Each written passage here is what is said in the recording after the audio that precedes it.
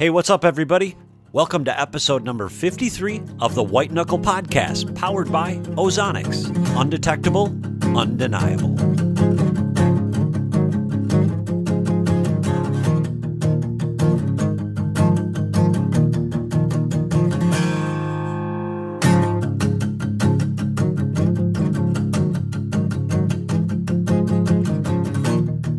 Everybody, thanks for tuning back in to episode number 53, where we finish up uh, episode two of two with Mr. Lee Lakosky. Uh, I hope you guys had as much fun listening to this last week as I did recording it. It's just a ton of fun to get him and Todd in the same room, so to speak, and just listen to all the knowledge that they have and we didn't even begin to scratch the surface. So look for Lee to come back on the show here in the future. With that, let's uh, let's rejoin the show where we left it off last week.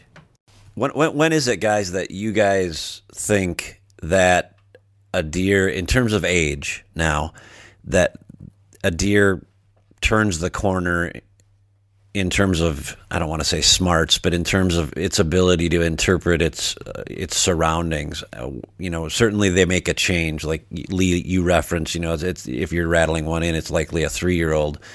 Um, but when when do you think uh, they what at what age do you think they're making that turn where they they just look at things differently? And I'm not I'm not so sure that it's that in their mind they've gotten smarter or anything like that. I think it's five, and that's like even, um, and it, it would be probably four for other areas. It just depends on you know how many older deer are on top of them. Seems like you know during you know during the rut that you know obviously they're searching for does.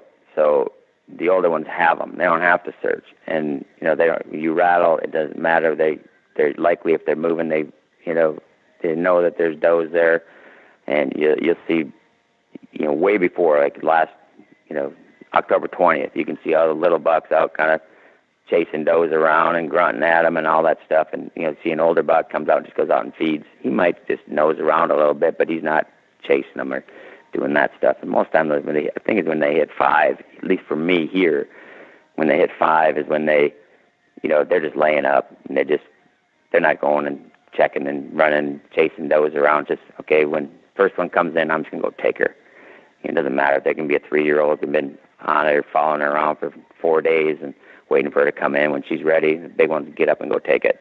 So then that little one is go on to the next one, running around. And even at four here, you'll see them moving around a little bit more and and, and chasing does around at four. But at five, I never see that. It's a, to me is where they turn the corner is at five, but I don't I don't know that it's necessarily in their mind that they're smarter. I suppose some, you know, they've been through breeding season enough times that they know it doesn't make any sense to chase them around or go waste your energy before they're ready, and they're just laying up. And the first ones that actually come in, they just go take them. It's and, almost uh, like at five, their instincts, It's almost like at five, their instincts become more honed, where they start to, you know, it's a little more survival based as opposed to. Yeah, and you don't know if that's it, or look, I mean, I don't know if you guys have dogs, but I have, we have labs, you know, shed hunting dogs and everything else you got puppies like Linda's got a new 12 week old puppy. They're running around like crazy, bouncing off the walls. Even at you know two and three years old, your puppies are basically at two years old. They're still almost like puppies bouncing off the wall. But you get a like my dog Tank, seven years old. He's content to lay around all day, saves his energy. You get him out. He's an animal when it, you get out, you know, shed hunting or or hunting. But they're pretty content to lay under the table, you know, not waste their energy until it's time to go. He knows, you know, I get my shotguns out or something, man. Now he's now he's acting like he's a puppy again. But until then, he's content to lay around. He's not bouncing off the walls. And I think, you know, deer are the same way. When they're young, they're just up, moving around. They're just bouncing off the walls. For, for to say like like a puppy, when they get a certain age, they're like five is what I see. They're pretty content to lay under the table all day until they have a reason to get up. So it could be that, and I think a lot of it is, you know, like I said, they are getting smarter. They've been through hunting season. They've been through the ruts. They know, okay, I had no sense chasing these does around, wasting my energy. But a lot of it just they're getting old, just like people too. You know, kids are running around like crazy, and you get to get older, you're kind of content to lay on the couch and watch the news. You know, so I think a lot of it is just, you know, they're just the age wise. When they get to five, they turn the corner where, hey, I'm not getting up unless I have a reason to get up. Hey, we don't want to take all of all of Lee's day, although we could. Um, Todd, um, you want to ask one more question, and then I've got one more question for Lee, and then we'll wrap things up if that's okay. Yeah. Is that okay with you, Lee? Oh, for sure. Yeah. Uh, okay. I, yeah. Anytime I'm talking deer, I love it. We do you know, radio shows of all the time. You know, it's like as soon as I'm off, I'll be out checking camera someplace or anything. But you know, it's like anytime you can talk deer, I just I could talk deer all day. So well, you you gave me your phone number, so um... yeah, anytime you guys for sure. Well, and I, I'm the same way. And what I the way I look at it is, I don't get the opportunity to talk to guys who have been there and done it on so much land. And I've got a two part question, and I'm going to try to keep it quick on one of them. My first question is. I, I had Brad Cooner, one of my good buddies, came down and hunted um, down here on my farm, and um, and and at the end of the hunt, and he's very he used to hunt with Andre with us over years and years ago. He's one of my uh-huh. favorite. Oh, dude, he's an insane hunter. But he said to me, he's like, you know, he's like, I don't mean to like dig your farm or anything, dig on your farm or anything, but he's like, I've never seen so many like junk young deer, like spike horns, fork horns, little six points. He's like, you know, when I we used to hunt on, you know, Andre's place over in Illinois, he's like, dude, every deer had a rack, you know, a cage. At what point, what age do you kill crap bucks. And is there any right age, Lee? I mean, how do you how do you do it on your farms? Like, I'm not looking at as big of a picture as you. You can probably be a little bit more um, bounce to the farm where you've got the best genetics potentially. But like for my farm, where it's probably a little bit more what most guys are, are used to, you know, managing a smaller farm. Is there a time where you start shooting deer at three years old, two years old? Because I honestly don't know. Never. Everything everything gets to five no matter what. I don't care if it's a spike. Because you look at I mean some people may I don't know that you can influence genetics unless you have a high fence. I mean you talk to some you know, some people think you can. You know, you go to Texas, everything is any any four point, you know, they're always gonna be a four point, you know, or, or an eight, you know. Uh, I just I don't really feel that way. I don't I mean I we can I've been here long enough now that I see the good genetics come and go. You'll have years on let's just take my home farm here for instance. You know, when we first got here we had that real big one back behind the house here and and you know we had a bunch of bucks, really good ones with inside points and, and that was the big thing. And there was a lot of genetic with the double rows of points and stuff. And then it went all that was gone. And it, for several years, we just had old crappy eight points. You could never hardly even find a ten point. And you're like, I don't know what happened, you know. And then all of a sudden, now the last couple of years, you see all those genetics coming back. And you know, because your big your big deer will your good genetic deer are bred breeding does here. When those fawns are born, those fawns aren't staying here. I mean, that's when their does are kicking them out and they're going on to your neighbor's pieces. And you know, whatever's on your neighbors are likely coming back over here but it all comes and goes, you know. So all those fawns that were kicked out, maybe they're living somewhere close by anyway with those good genetics, and then when they get old enough, they're breeding does, and then their does are coming back. Those fawns are coming back over here. You see the, the different genetics come through, but for me, I always am like, even if it's a an eight point, you just don't know what they're going to do. Something that might be junky early on isn't necessarily going to be junky. I mean, they're not going to be like a 200 inch or anything like that but if I get them to five, and that's not how you know I have buddies that come down and hunt and stuff too. If you you know you shoot a three year old eight that's 117 inches, it's you know they're likely going to cut the horns off and throw it on the woodpile. But you, you know you leave that deer to five, and now even if they might be 145 or 150 inch eight point, and that's huge. I mean a lot of times eh, when they get to five, they're not just clean eights. They'll normally have stickers at the bases or splits or doing something. So anytime you hit, you shoot a deer and you you get them on the ground, they got this huge body and huge neck and a big cinder block head. I'm always pumped about it. It doesn't matter if they have a 130 inch rack on them. It's like, man, you know, you you let him get to his full potential, and you just don't know what their full potential is all the time. You look at like Wally that Tiffany shot was her biggest deer at the, and yeah, and still is, but that deer was basically you know, at three years old, we called him Wally because he had a wall of points. I mean, he had like seven on one side and six on the other. I was like, man, that thing could be huge. And it was on the same farm that I shot Gnarls Barkley that was, you know, 190 something inch, basically almost as a mainframe, eight point, but he had some stickers and stuff. But, you know, just huge mass and the tine length was incredible. So you're like, man, it must be this. You know, he was kind of narrow like that, and it's like, man, I think that thing has the genetics of of of gnarls and throws up this huge long points and mass and everything. And he's got seven points on the side and six on the other side instead of four. Mean, I think it'd be a 240.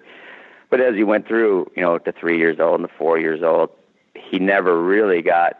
He was super narrow and never put the tine length on. He get more mass, but he was, you know, even at we tried to hunt him at five and then and and didn't get him, and then he, he hunt him at six, and then then he broke a broke part of his beam off. I'll let's just leave him, see what he does.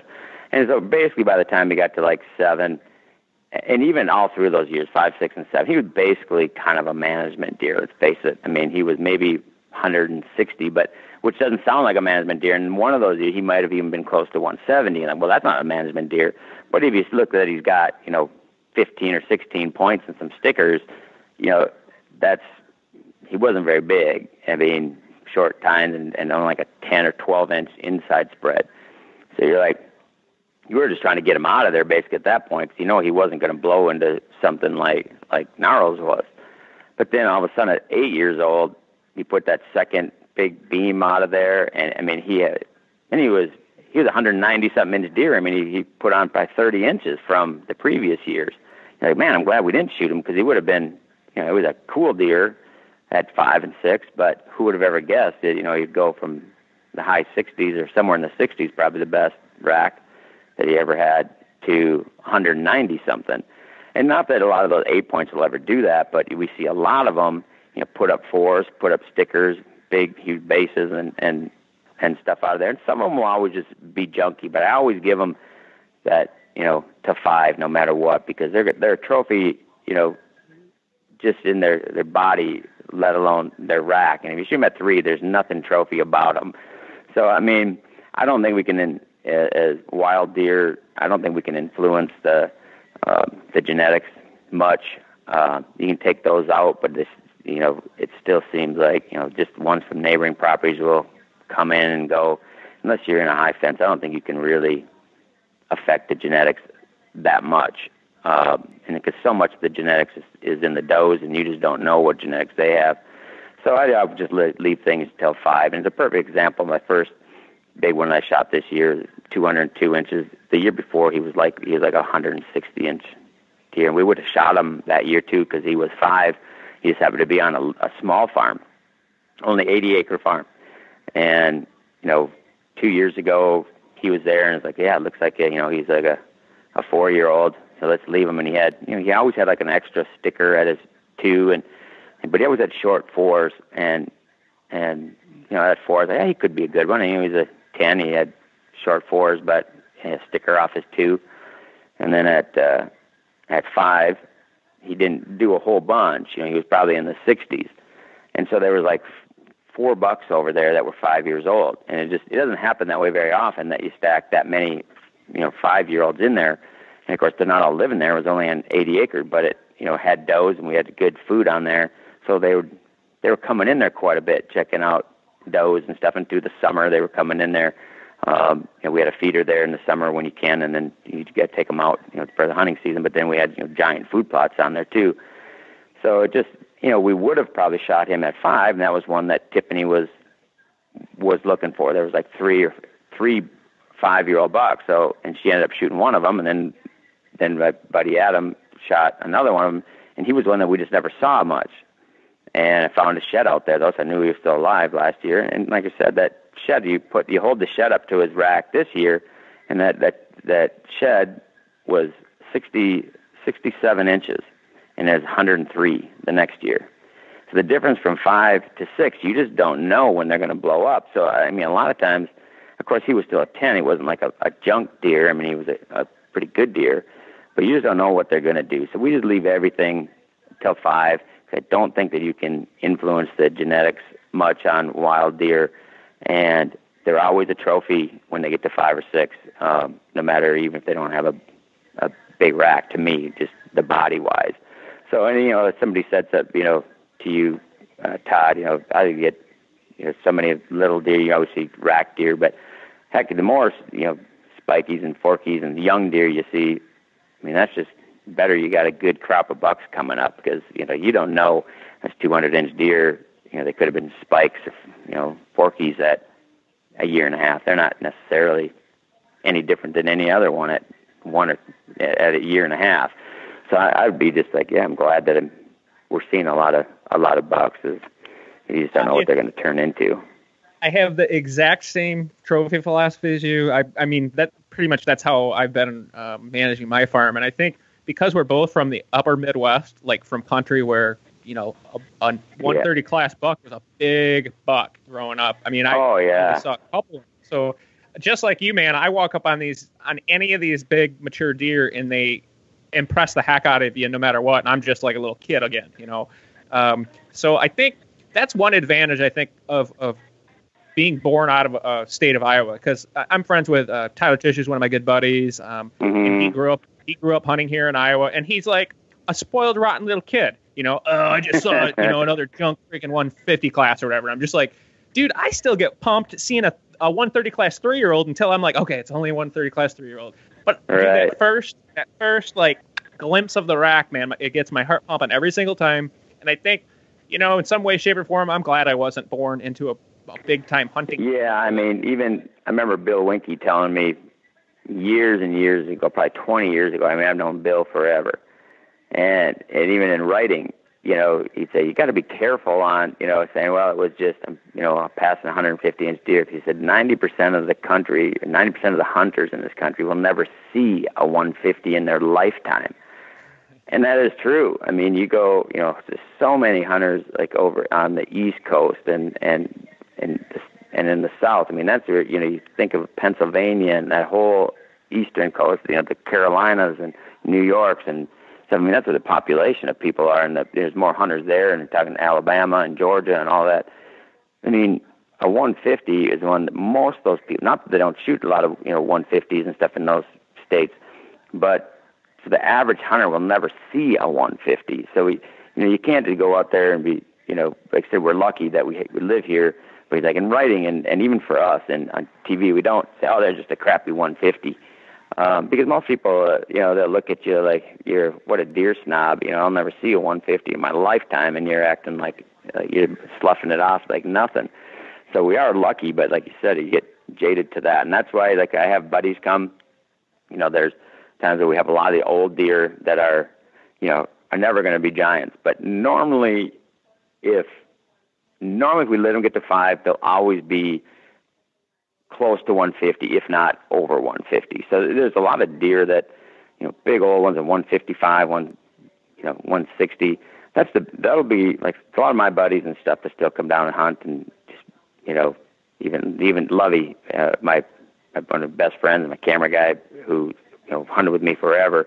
Um, he's filmed me on about every hunt I've ever done. He he finally got drawn this year and came and he shot. And just I don't even know how old this deer is. I mean, he just showed up, and it was like the body on the thing is probably one of the biggest bodies I've ever seen, and his face. I mean, he had to be like you know seven, eight year old buck, and he was like 154, um, just heavy. But and his points, you know, his tines weren't that long, but they were fat. I mean, they were about as big around as his main beams and stuff. But he was like 100 154, 155 inch deer. And uh, to me, I, I was more pumped about that deer than about than anything that we shot this year. And just to see Jeff, just to be in the in a blind with with Jeff when he when he shot him and how pumped he was. I mean, it's the biggest deer he's ever shot in his life. And you know, so a deer like that, you know, when he if he said, well, you know, if he just of he's not that big at three or four, let's just call him out. He's never going to be big. I mean, it's I mean, a deer like that are trophies of a lifetime for most people. So you don't want to slough those off and just you know I am just going to kill them at three because they're not good genetics. Because I have you know a lot of buddies that come and they shoot something like that and heck it's going to be on their wall and be the biggest deer they've ever shot. You know you get them to five. So and, we don't you know we don't ever shoot anything until they're five. Then I don't care what kind of genetics they have. Oh well, I it's it's always good to hear that because it kind of reaffirms my um, my belief in uh, in the Lakoskis because that was the one thing that always struck me about you, Lee, was that no matter what, no matter how successful you've gotten, which has been out of out of control to watch, we've all been like just standing back in awe of what you guys have done. But you've never lost what got you here in the first place, which is the passion for whitetails. And it's so refreshing to see that because, and that's why you've been so successful because you've never lost that And I think that's the reason I'm. Well, I'm no different than I was as a kid, and like I said, like like I grew up in the first 12 years that I deer hunted. I bet you I didn't see 12 deer. um, and you know the the first before I started bow hunting, that the I mean I was my like 20 years old by the time I started uh, uh, actually being you know, shooting anything with my bow. I had I shot two bucks, and you know from the time I started hunting that you know nine or ten years old with my dad till I was 20, I shot two bucks. One was a forky that was maybe maybe 50 inches, and then one was a little eight point that was maybe 80 inches. So that was it. That's I mean for you know 12, 13 years of hunting, you know, and, and just being eaten up with deer. Read every single magazine, everything that I could. Um, that was I was in my 20s before I shot my first Pope and Young. It wasn't until I started, you know, I could take my car and get me a license and start driving around and knocking on doors and and everything, trying to find places where I could bow hunt in the city. You know, more where you know maybe there wasn't the gun pressure; it was only shotguns and not rifles and stuff. And start learning, you know, and and shooting some some bigger ones. So I didn't grow up that way. I was I've always been infatuated. I mean, Tiffany asked me, "How are you so infatuated with deer when you never saw any growing up hunting in northern Minnesota?" I said, "Well, because I I always thought I'd see all the magazines and see. I always thought that it was me that I wasn't good enough. I just didn't know how to hunt. I didn't know where to hunt. I wasn't good enough. I always figured that those deer were there." And I just wasn't good enough hunter, so that just, it just drove me and drove me and drove me, and just got obsessed with it and you know, you know now that there likely wasn't. I mean, it was with the wolves and the snow and everything in northern Minnesota. It was on public land and stuff that there just were hardly any deer there. And there, you know, there could have been some decent deer, but you know, I bet you, you know, if I went up there now, knowing what I know now, you know, you could likely get racked bucks, you know, fairly often. But you know, there just wasn't the deer there you know. And, and, now I look in places that we hunted. It's like, well, no wonder we didn't see him. Man, we're in the wide open birch bark timber. You know, it was beautiful. You could see a long ways, but no bucks in their right mind would be walking through that open timber like that up in up in that area. And this goes back to even what we talked to about, you know, there there's nobody in there for nine months, ten, eleven months of the year. There's nobody in there. You're talking just just timber. There's no field, just massive pieces of timber you get to gun season, you know, opening day, and but leading up to it, even like the week before, everybody's going and building scaffolds and building stands. We, you know, there was no hang-ons and stuff back then, and we just built stands in the trees. Those deer knew, you know, holy crap, there'd been nobody in here for ten months, and all of a sudden, you know, the Orange Army comes out, and it's like they were under. They must, who knows? It's like they built tunnels that go in or something. You never saw one, but it goes back to you know the you know constant pressure, or you know, or constant, you know, want to say pressure, but constant, you know, getting them used to you that you're there. And you know, we talked about that earlier, and that's that's huge. You know, just getting your deer used to people being around all the time without without any intrusion on them and not any harm to them. And we could see that, like in Linda's house, Tiffany's mom, we have put a feeder right like 50 yards in front of her yard, in front of her door, and you'd see two in the morning, you'd see some deer in there, and you'd walk by the window and they'd run. But you know, two years later, heck, we can drive our cars in and out, and the deer don't even run from there. Now we have 170 inch bucks laying in their yard, and so because we don't hunt anywhere, I sit on that 80 around our house. We don't hunt anywhere around there because we love seeing the deer. But those deer are just like you know, there's there's deer that we've shot before that are up on you know, 100 acres away up on a food plot. You know, you can you might catch them, but it's only been like one or two that even we have ever seen like down by the house. But you know, we just love seeing them. But those deer, you know, we let our dogs out to go to the bathroom. They go out. They know not. They don't chase deer, and then just go out and go to the bathroom, come back in. The deer don't even run. I mean, it's not just because there's a feeder there. I mean, around our whole house. I'm sure you've been there, Todd. There's food plots around the whole thing: alfalfa fields, bean fields, clover fields. So I mean, you can look out our yard and there'll be a hundred deer out there if you look out all four windows around our whole house. You know, so it's not just a feeder. They'll come over and hit that once in a while, but they're just so used to us being around there that the deer don't even run. And you look at it, it's like, you know, two years before that, they'd be at two in the morning and you'd walk by the window and they'd run. So you learn that it's not human scent that they're afraid of. It's just when there's no human scent and all of a sudden you start coming in, now it's something is different. But when you're going into our food plots, like all every month of the year, twice two, three times a, a week, going in there, checking food plots, checking cameras, out walking around, you know, fertilizing, checking your plants, stuff throughout the summer. You're always in there twice a week, and it and a lot of times I'm going in there and putting out, you know, minerals or filling feeders. Some of their for nine months of the year, they're they're associating me with food or something positive. A lot of times they'll go out and, they'll, you know, put out, you know, fill the feeders. Two minutes after I'm gone, they'll all come in because they heard my truck coming in. Okay, he must have. Because every time I go in, I check the feeders. I'll, someone will have the spin feeders. I'll make the spin, make sure the spinner's working and and it's going and filling the pan up and stuff. So you know, hey, there's food, and they hear me coming, they'll come out and they'll check that pan, you know, to see if I, because I'll always hit the test to make sure that they're working and see how much corn is left in them. So they're used to me with positive things, with food, nine months of the year. And then when it gets to hunting season, you're you're hunting it the same way, like twice a week, maybe in there. So to them, July looks no different than November, and I think that's why we've been so successful. Is that those deer don't don't recognize that they're being hunted. It, it's no different to them than in in July. But when we were hunting like northern Minnesota as kids and stuff, there was nobody in all that big national forest up there you know, nobody. And then all of a sudden, you got the hunting season, and the Orange Army came out, and they were everywhere. So the deer knew it was totally different. You know, like so a, that we were just so unsuccessful back then, and you kind of can see why now. I mean, if I if I just knew back then what you know now, you likely, you know, it's not like you'd be shooting giant deer, or even every year, but you would have been a lot more successful than I was back then for sure. You learned a lot since then the perfect analogy is it'd be like any of us waking up tomorrow morning and finding a seven year old buck in our living room. Yeah, exactly. Like, uh, that's not normal. Lee, I- am not kidding you. Just this year, my farm, I've the success ratio of actually killing these big bucks as opposed to the trail camera success, you know, getting pictures of them, is when yeah. I, when my wife and I started enjoying our property more. And I finally got to the point where I was sick. I had enough uh, pieces around me and, and control enough where I just didn't care anymore. I'm like, you know what? She loves to go down to, to our creek, which is right next to my sanctuary, the best spot I got.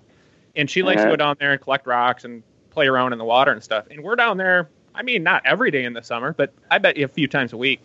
So yeah. I started, I started just to notice that during season when I'm walking across my whole property to get in these secure locations, deer would just snort and snort and snort, and, and, you know before you even get into your blinds or your stands, you're like you don't you feel like turning around and going to a different spot. Um, mm-hmm. So now I drive my truck right down to the creek. I park and I have where I killed my, uh, one of my big eights this year. I, I was literally parked within 150 yards of where he was at, and what I figured out is. I'll blow the deer out, but it's a different type of blowout. They'll just run off and then they'll run back it right back in. And exactly. I actually, I have pictures of deer feeding within 20, 30 yards of my truck right on scrapes because I, I had to drive to one spot to get into the creek access, to get into a different stands and stuff. And they've just, it's a piece of farm equipment to them now. They're just used to it. Right. And, and it, like I said, I mean, we, I drive my Ranger like I, every day I go, you know, check someplace. Obviously, it's not every day on the same farm because we've got lots of different farms, but every day I'm out checking cameras and looking at fields and and doing stuff like that. So they're used to you. And you know, you have people always like, oh, when you put your cameras out, you use rubber gloves. I say, no, I want them. They get a snout full of lean tipping every single day. So then when you go to the hunting season, you do everything you can for scent control, and you know you can't get away with it. I mean, you can. You know they can smell as good as a dog, and you know they have drug dogs. You can put drugs in a injection molded inside of a plastic ball and put it in your gas tank, and they're going to smell it. So it's not like you're ever going to get away with it. The difference is you do everything, everything possible, and they get downwind of you, put their nose up, do the head bob, do the stomp, flick their tail, and walk through. So it's either they think, okay, it's weak enough scent that it was yesterday that they were here, two hours ago they were here, or he's 200 yards away, not 20 yards away. And we get away with murder. I mean, the, my last big one, that 207 that I shot this year, we had to go in there with a terrible wind because that's that's all we had this south wind. We didn't have a, a choice. And with gun season coming, I knew that deer. I had never seen him. Nobody. We had hunted that farm hundreds of times before and never saw that deer, even though I had some pictures of him. And then late season last year, all of a sudden he started using this one rack radish field that I have, and he just started living in there late season. And then he kind of did that. Got to end of October, he was in there all the time. That's when I started hunting him, and all of a sudden he was just like we talked about earlier, a deer that had never been visible. Never, nobody had ever saw him, even though we hunted that farm hundreds of times over the four years that he was in there. Nobody ever saw him. And then this year, all of a sudden, why he just bang, he was visible in that field all the time. But it's real close to some neighboring property. I was like, in the gun season, being as visible as he is, he's never gonna, you know, somebody's gonna kill him in gun season because I wasn't gonna shoot him with a gun. I was like, I'm adamant, I'm gonna shoot this with a bow, or I'm not gonna shoot him at all. And so, I mean, I ended up shooting them just literally three days before the gun season. But it was south wind, and as like it's blown right in the timber he's coming from, and all the does are coming out to this back to a cornfield, and I was like, I don't have a choice though, and we just did everything we could with spraying down scent killer soaps and and, and washed all our clothes and sprayed them down and did did everything we possibly could, and it was not so much him, but all the does coming out because all the deer would start stacking in the field. One doe blows behind you, it blows the whole field, and then you're screwed for the night. You know if you can't get them back in. But we had so many does coming right out from downwind, and every one of them. Some of them would turn around and walk back and wouldn't come out, and some of them would walk right through. And then later, those ones that would walk back they, with their fawns, they'd all right, get enough, let's get enough courage up, and yep, we'll walk out there. But they'd see all those deer out in the field because once they're in the field we were in the clear.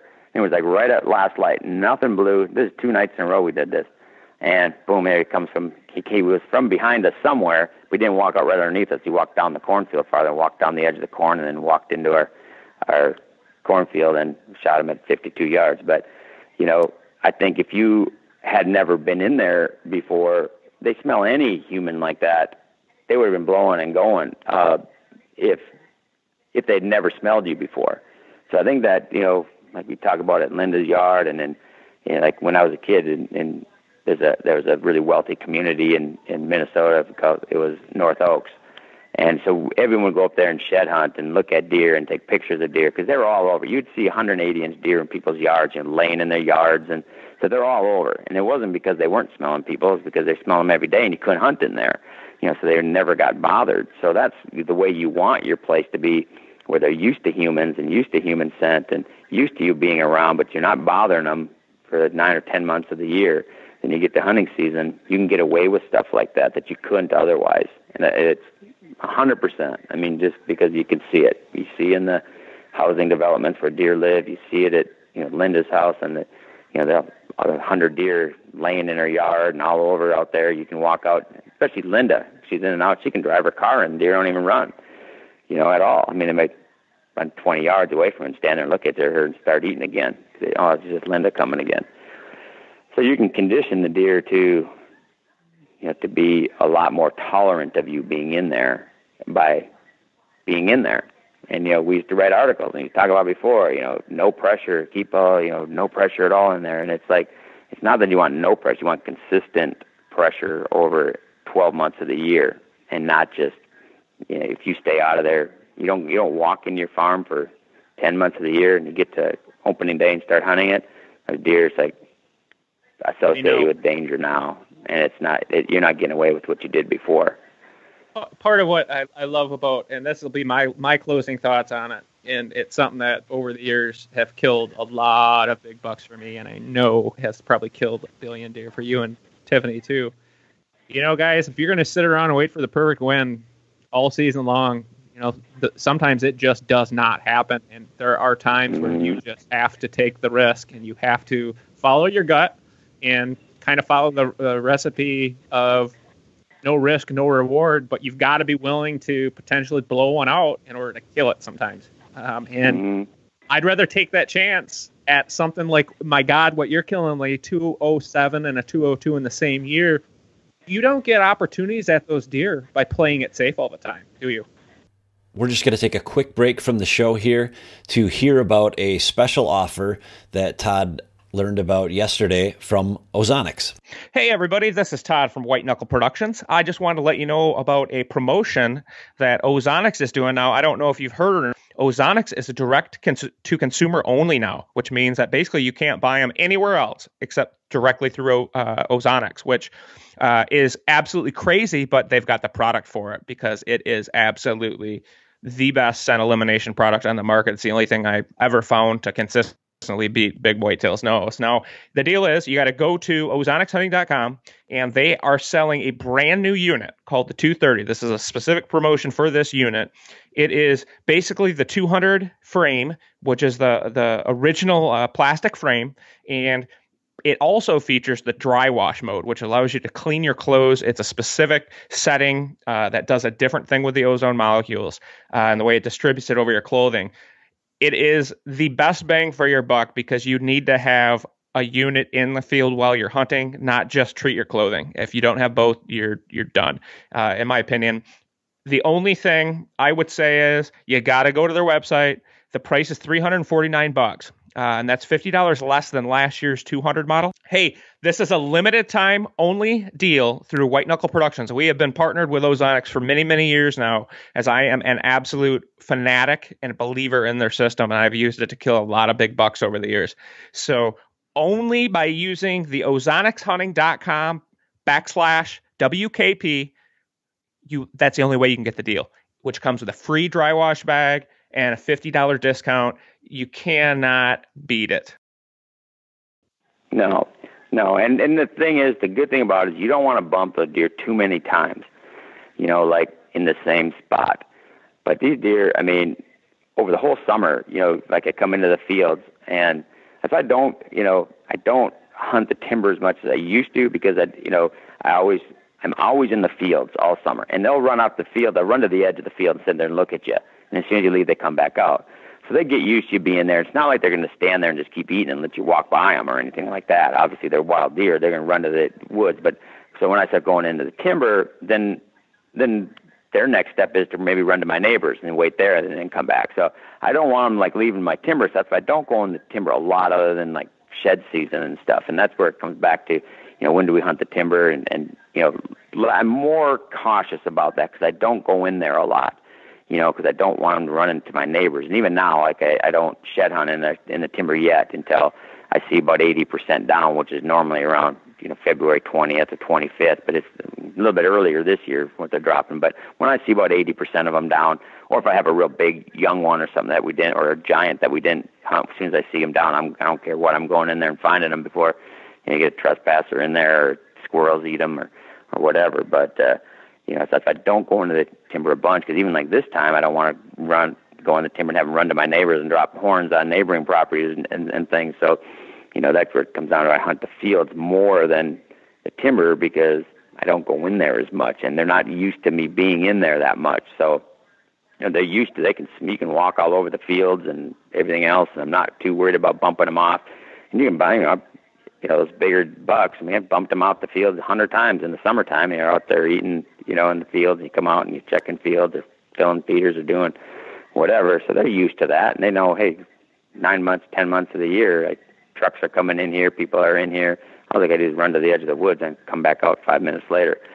So I'm not, you know, when I'm hunting the field edge, I'm you're not it, it you're not so worried about bumping them there you know, and it's not like you bump a big one one time and they'll never come back. And it could be if they've never smelled a person in there before, and all of a sudden you start coming in there to hunt. You know that that's going to change the pattern big time. But if they're used to you being in there, and they have been since they're two years old and lived on your property and around that, that hey, there's always people in here, and it's never been a problem. So you can kind of condition them to to not bail out or turn nocturnal you know, by being there in the summertime and and you know other times of the season. So you know it's uh, hey, it's kind of counterintuitive to, to what you think. If I had to walk around with a cameraman like Big George, I wouldn't go in the timber either. yeah, because you have to have a big dang tree to hold it up. Oh. And then, you know, like you, we touched on that a little bit, but it's like you said, it's hard. I mean, we really, you really got to think out your spots, you know, carefully and stuff with back cover and you know, thinking about with two people in there, and and even more so is it's amazing what you can get done and how much better hunter you get, especially on the spot and stock stuff. Because a lot of times, like on our mule deer hunts, we have two camera hunt, two cameramen. You know, somebody to be right over your shoulder and get you in there, and then somebody on high speed, you know, to get the animal up close. So the other guy has you and the audio because the main camera is on high speed. So you know how, tough it is for people to you know, they think, oh man, are you going to go archery hunting after sheep? Oh my gosh, the hardest thing in the world. You're going to go spot and stock, you know, elk and Coues deer and all that kind of stuff, or mule deer. And it's like, well, yeah, now try doing it with three people and sometimes with guides if they're there, you know. But a lot of times the guides don't go with us, you know. Now most of them know me and they just, hey, we find a deer and they say, yeah, you go get them. You got, you know what you're doing. You know, I don't have to go help you at all. So, but yeah, I mean, it just makes you become so much more careful.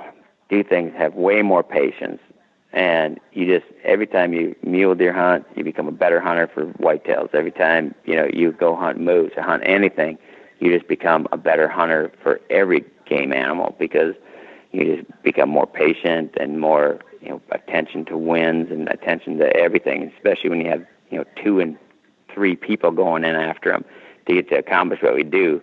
It, uh, I mean, you learn a lot. You get to be a lot better hunter with the cameraman. Like right now, I just think if I went spot stock mule deer, if I spot one bedded down someplace, if I just went and hunted by myself, I'd be like, there's 90% chance I'm going to kill that deer right now.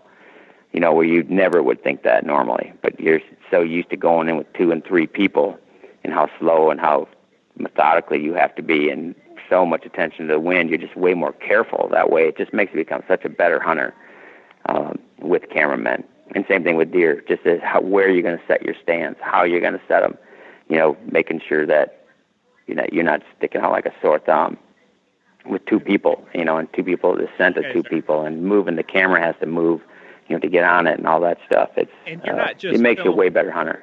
You're not just filming; you're at the absolute top of your game. And I know, believe me, Lee Lakosky, everything has to be perfect. You guys are using giant cameras. You're not using little mini cameras like I am, but that's always been a part of your passion is the the, the videography and the, the storytelling of your hunts. And so for that, you sacrifice a lot of things along the way um, in order to achieve that.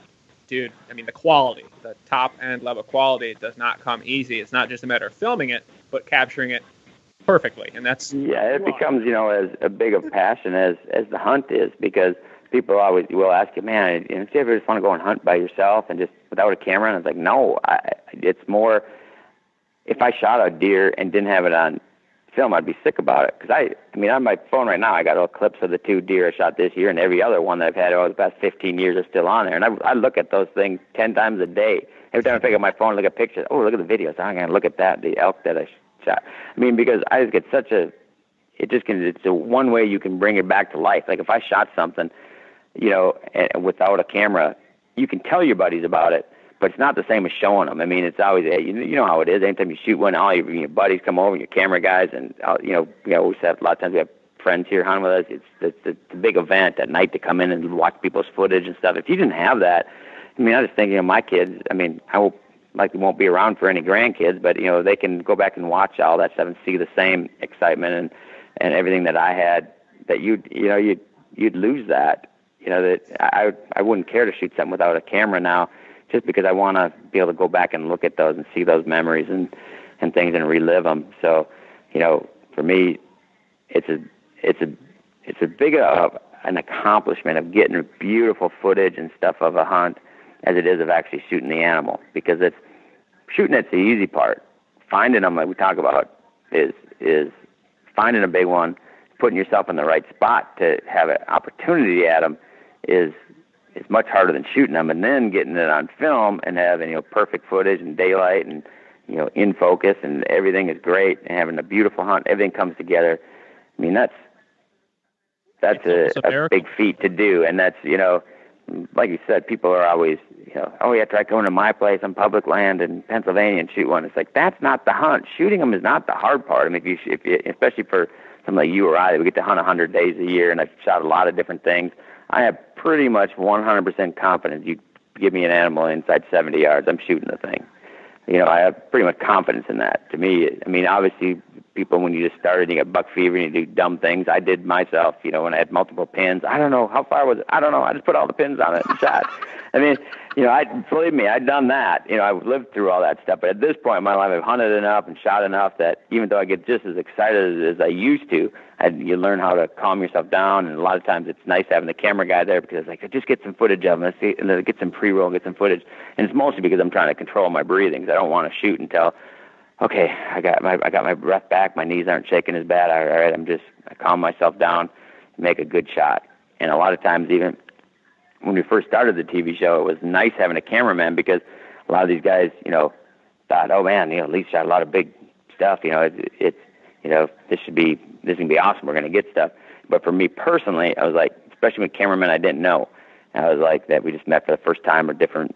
You know, we had different people when we first started and stuff that I didn't want to look like a rookie. So a lot of times I remember Jason Miller he used to film for Tom Miranda and stuff. He was on ESPN, film all the ESPN shows and stuff. At first time I was elk hunting with him, and and it was like my first big elk that I shot. He came into a a pond. I remember just breathing so heavy and being so shaky and being at full draw thing at 50 something yards. And then I remember telling myself, man, you can't look like an idiot in front of Jason. This is a guy that films stuff for ESPN. Just take another breath and, just bear down on this thing. And you make sure you pick a little spot and you make a perfect shot on this thing. And it just calmed me down. And it, I mean, where I would have, I would have shot a full two minutes earlier almost on this thing. I would have pulled back, put a pin on shot and say, was your level on? Was you where? Did you have the right pins? All that stuff. I don't know. I just shot. But with having him there, I still remember that to this day. I, I got. I can't look like a. I can't look like a rookie to this guy, and just okay, settling yourself down, and made a perfect shot on the thing. He went like 50 yards, and it was like so excited on the thing. And I remember it was so. I could hardly breathe. I mean, to the point that you felt like you're going to pass out and just learn how to control that. And that just helped me so much having somebody else there, which likely wouldn't have taken my time. And now it's kind of become second nature. You know, you, you know these camera guys come out, and you know they're all my my my closest friends. Like Jeff, he's with me all the time. You don't want to let them down either. Everybody wants to film a kill and be successful and have, you know, you know, say, man, I, I filmed that kill. When they see it on TV, they're proud of it too, and it's beautiful footage amongst all the camera guys. You know, it's kind of a big deal. You get a a kill that's perfect footage and you do all the cutaways perfect and recoveries and that, you know just getting a, a, a perfect hunt is a is a tough thing to do because you don't number one you don't get a big deer in front of you very often and then to get everything perfect it's a big deal to them too so you don't want to let them down by missing or doing something you know screwing jacking it up or or something so you know it really to me it helps having somebody there calm to calm you down and it's just a sense of pride when you put a whole hunt together you're like man that thing you know tough that is to get you know, 200 inch deer or 170 inch deer, 150 inch deer, or, you know, an old deer to put one in front of you, and then to put it all together with the video and everything else. It's that is tough to do, and, and, and so many people now. I guarantee it. You know, there's everybody. Hey, let's go film stuff. Because now with the YouTubes and Facebook stuff, I mean, you know, people. You know, everybody wants to put a, a good hunt out there like that. And I think people are understanding a little bit more now how much more difficult it is to do to put a, a good one together and focus and and have you know a beautiful a beautiful shot and and stuff. It's hard to do. Is the feel. Is there nothing? I mean, that like I get to that point now where when you when you recover the animal, you're standing behind him and you look at the camera. The feeling that you have at that moment of just like, I can't believe we just pulled it off. And now you've done it time and time again. And I have too, but each one is so special because it's not just shooting the deer, man. You've got so many elements that have to come together in one small moment of time. That yep. when it does happen, it still feels like a miracle every time to me. And it's just like yeah, there's no redos on it.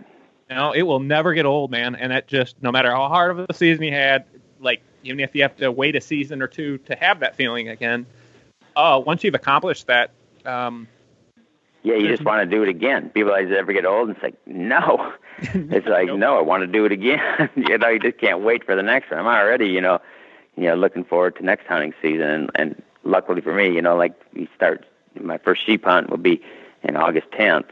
You know, so it's really not that much time. You, you know, I see we have Harrisburg show, you know, next next week, and then the Dixie Deer Classic, the Minnesota Deer Classic, and you know that you're shed hunting through all that. But by the time we're done with show season, you're basically into April and turkey season, and so you're excited about turkey hunting and food plots, know, planting and doing all that stuff. And it, it goes by so fast, you know. You got, you know, in April and May, it, you, you're planting corn and beans and clover, and then you get to June and July, and you're fertilizing, getting all your stuff ready for, you know, uh, for your turnip and rape and radish mixes. I usually plant those like in July to August 1st, and then you get to August 1st, and you think, okay, what didn't make it? What do I got to put in winter wheat? And then, it, then I'm leaving on August 10th. I have, you know, like as Matt and Mike usually planting my wheat fields, you know, because I don't want to really plant them until the end of August. So I mean, there's really no downtime, and and through that whole summer, you know, you're putting together all the episodes, your your shows for the year, and you're doing your interview pieces. Time flies by so fast because there's there's no downtime. It's always like this is when my hunting season starts. I'm doing all the work now, and uh, before you know it, August is here, and I got to leave for hunting in in a week. You know, and you're like, God, I wish I had some more time. I just you know, you just you're always struggling to get stuff done. You know, every every year, you're like, God, I should have hinge cut that. I should have, you know, put more apples, planted some apple trees and pear trees here. I should have done this and that. There's it, work is never done. So you, I never have a day that I get and say, man, it's a lazy day. I'm gonna lay around all day. You know, it's every day you get up. Even now, I'm just okay. I get new chains for my chainsaw and get my, you know, sharpen them up. I got so many places that I got hinge cut and thicken up and stuff. You see over the season, like where I shot that 207. It's like, gosh, where he's bedding in there you know, he probably would have hung in there more if it wasn't so open. You know, as it gets as all the leaves fall and everything. I would have liked to have killed him in that little rack radish field, you know. But then it's getting as the leaves fall, it gets so open in there. He started moving, so he's over over in one of our cornfields more. And it's like, man, if I just would have hinge cut that all last year and laid all that stuff down and had at least treetops and and trees and stuff in there and opened that up with a little more grass, he maybe would have stayed right where he was, where I you know, I had a better shot at him, and you know, he said moving stands around. You put up stands for you know six stands in a three acre field. You know, around there it's twelve, you know, twelve stands for six sets and stuff. You know, people go and look at that little three acre field and like, oh my gosh, why so many stands in here? Well, if it's southeast or south southeast, you you hunt this one, and if it's south this one, and if it's southwest, you hunt this one. If it's south southwest, you can hunt this one. You know, for every you know now it's not just south, north, southeast, or west. If it's if it's south southwest, we can hunt this one. And if it's southwest, we have to hunt that one. You know, so it's you know you're cutting, you're splitting hairs on things, but you have so many setups and stuff for the dang thing. You know, and then all of a sudden he stops using that field and someplace else. The woods is so open right there now, and but there's I, you know, so much work to do. Dude, all I can say is Tiffany is got to be the greatest woman on earth because I know how you are, and no this doubt. is Lee. This is Lee all the time. Like it's, I'm the same way. I'm not quite as you're like on a 180 percent. I'm like 110, maybe, maybe 100. but dude, this is you want to. It's higher than 100, oh, Todd. My goodness. Well, I mean, dude, you can just see though. But but I also I I have the business. I we're we're two different. You're in one. Your whole business is whitetails. Where my business, I have you know to deal with engineering and product and manufacturing crap. right. Too. It's it's a different, but that in a nutshell, man, is what makes you um, successful. And and and there's nobody who deserves the success more than you. So I can't say how uh, excited we are to have you on the show just to talk whitetails. And I think. I mean, all people have to do is talk to you guys, both Tiffany and yourself, um, and you very quickly realize what caliber of work ethic that you guys have, and that's what it comes down to, man. If you don't put the time in, you can't expect to get the results. Exactly. You know, people will see that and they'll try to come hunt here and do that and stuff. But you know, cause you know, it. it's just you know jealousy on things. But it's no different than anything. If if you want to be a doctor, eh, okay, you gotta you gotta you're gonna have to work hard through high school to get into a good college. You're gonna have to work hard. It's just gonna take hard work, and you can get there.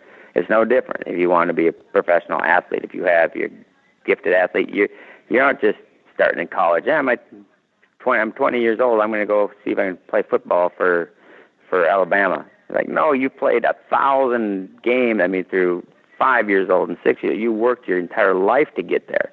And so you see those people. They just didn't step up, and you know you don't you don't see anybody, you know, telling football players that. Well, gee, well I could too if I if I went to Alabama, I could play football too.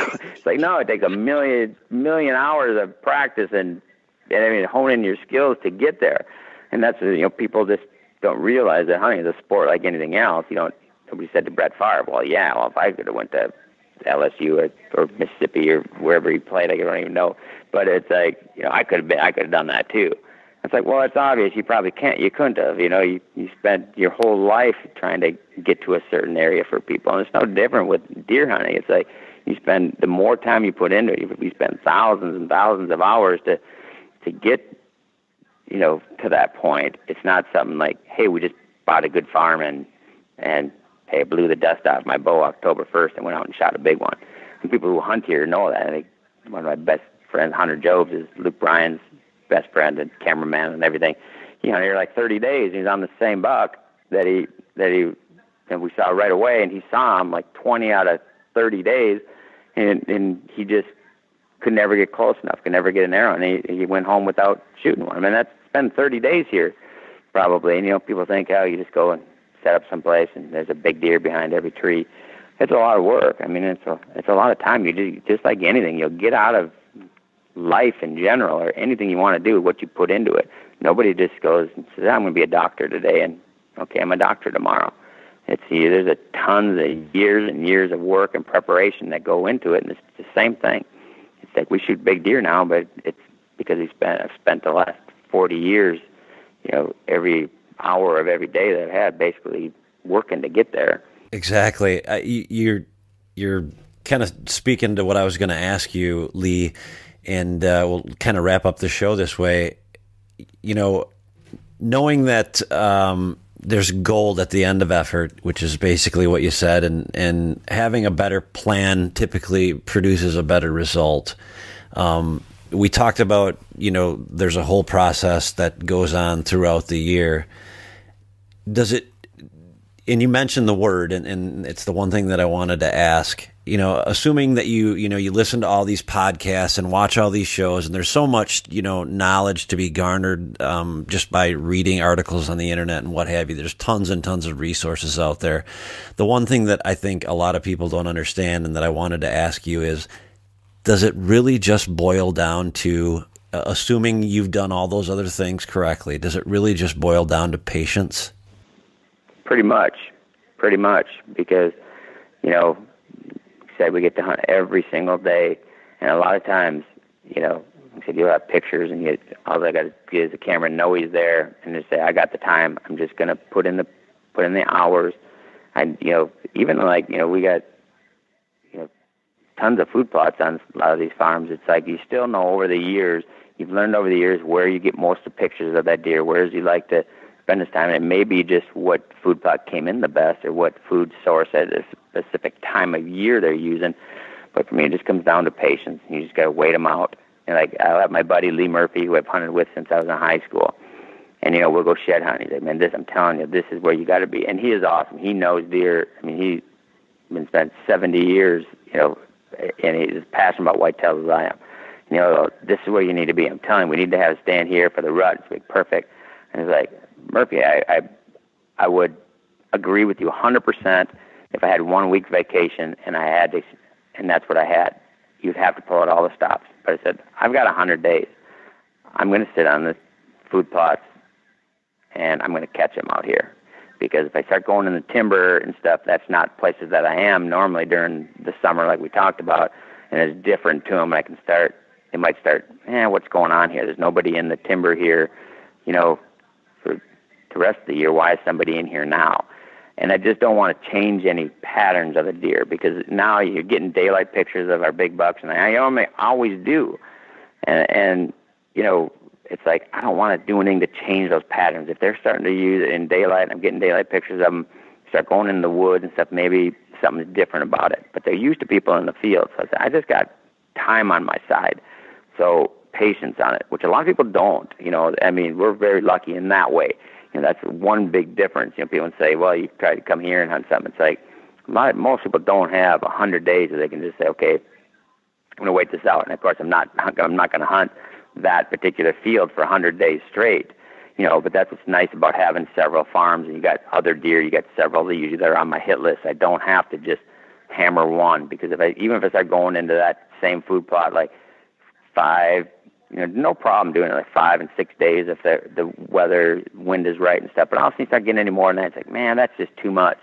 I got to back out and get to a different, you know, a different farm or something. Just stay out here for a couple of days anyway. So you got to. It's nice to have backup places that you can go to. You don't want to, you know, start getting too much in there. But I'm not afraid to do, you know, four, five, six, maybe even days in a row. And a lot of times, even if I start going on like that, when it started getting close to gun season on that 207 I just I didn't hunt the same field with them. Then I started going to some of the timber hunts, in there, and then some of the other fields and stuff where I've had pictures of him on, and just just because it's like, hey, if I don't hunt this farm, I don't have a chance of shooting them. So, you know, even though it's on the cornfields where I ended up shooting him on, but very few pictures. He was always almost always on that rack radish field throughout the whole year. So I, there's a couple pictures of him at night over in that cornfield. So I'll go hunt over there, and maybe he'll show up. And then as we start getting closer to December, he started showing up there more often, and that's so it was good for me that I had more options. And that's actually where I ended up shooting him at. But it is,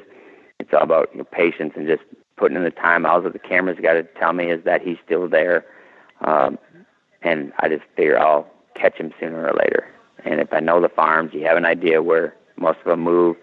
Uh, this I'll I'll catch him eventually, and that's knowing what happens. It's usually never on the first day. It's usually day 72 of hunting them that that you you get you know you get a shot at them. Once in a while you get lucky, but uh, you know and kill one right away. But that's normally not the case.